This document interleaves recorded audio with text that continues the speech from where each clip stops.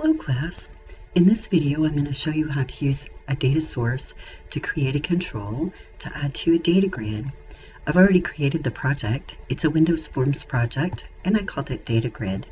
My database is already sitting on my C drive in this folder C Sharp Projects.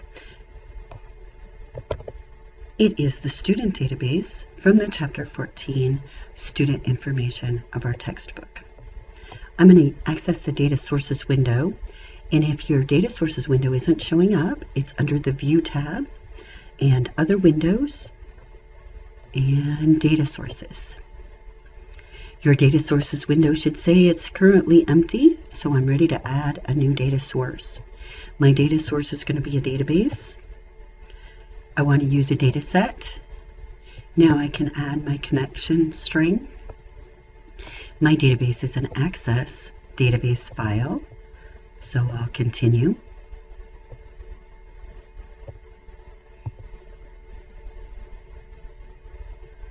And when I do that, I should have an opportunity to browse for my database. Again, it's on my C drive.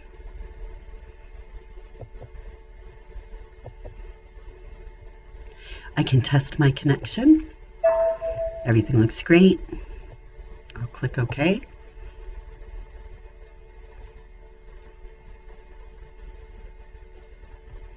Now I can click Next. And it asks me if I want to create a copy of this database in my project. If I do that, it'll create this copy every time I run this project, and I really don't want that to happen. I'm going to say no. It's going to save a copy of the connection string for me. I'm not too worried about that right now. And then it's going to show me all of the tables that are available in my database. This database has two tables, the student table and the department table. We're going to choose the student table for our data source and click Finish.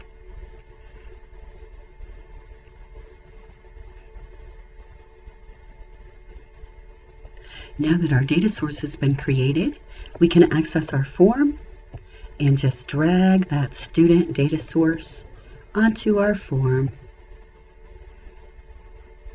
And Visual Studio will automatically create the data grid control and all the other associated objects that are required for accessing that database.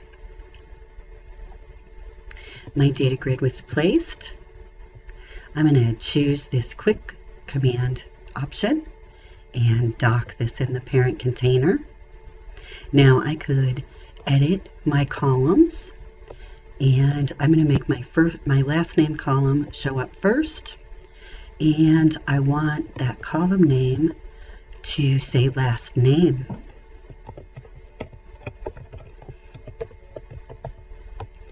Then I want my first name.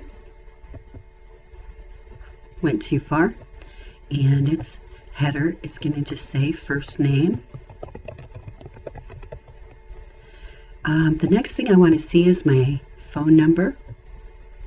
So I'll make that header say phone.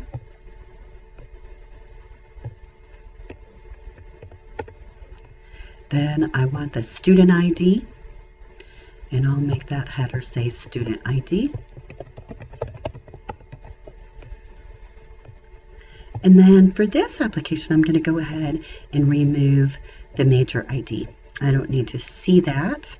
Now when I click OK, you should see the column customization is complete. And our headings now look a little bit easier to use. Now I'll run this application.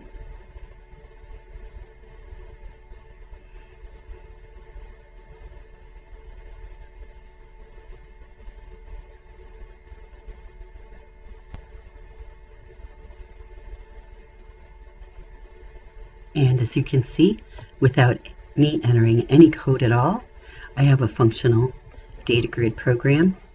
I can change items. I can delete rows. I could add a new row. And I can save all of these items. Oops, not like that. That was my fault because I tried to add and then click save all at the same time. I'm going to go ahead and save that data. Now notice that the navigational controls work. Everything's nice. Gives you something to experiment with. That's it for this video. That's how easy it is. Thanks.